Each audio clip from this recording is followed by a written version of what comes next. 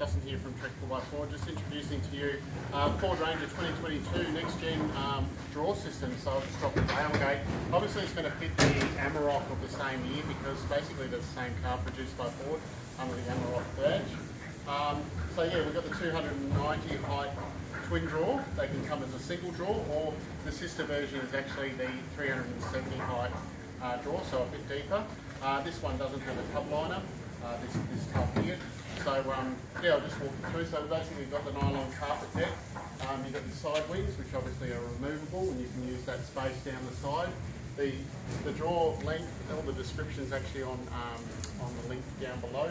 They're 1400 long. I'll just open it up for you. Slides out a, a full metre. You can easily get to the back there, fit a lot of gear.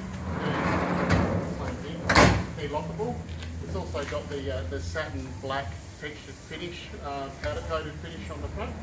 Um, thanks for watching the video and um, please, subscribe to see more videos uh, of featuring the Ford Ranger.